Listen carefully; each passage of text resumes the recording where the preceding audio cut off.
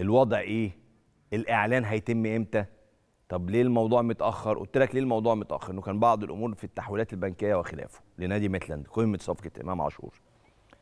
الأهلي عنده اقتراحين فيما يخص إدارة الإعلام في النادي الأهلي. في رأي بيقول لأ الموضوع فيه لغط كتير نخلص جلسة التصوير النهارده ونعلن بكرة الصبح أو بكرة بالليل بالكتير. ده رأي. في رأي تاني يقول لك لأ إحنا نستنى لما الأهلي ياخد درع الدوري يوم الأربعاء بعد مباراة حرس الحدود وبعدها نعلن صفقة إمام عاشور. ده راي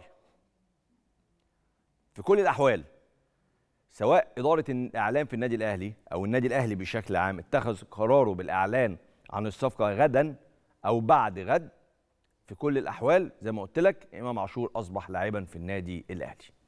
طيب قصة الإصابة الحكاية بتاعت الإصابة. كان معانا محمد جمال زميلنا العزيز امبارح ووضح طبيا والتقارير الطبيه فيما يخص إصابة إمام عاشور.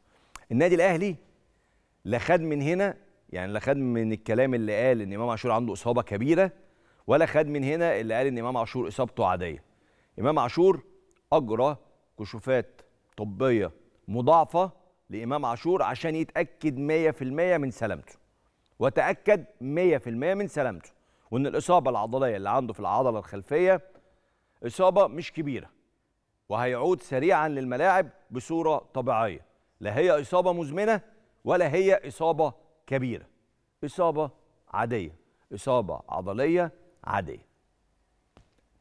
دي حكاية إمام عاشور من الأول للآخر في هذه اللحظة.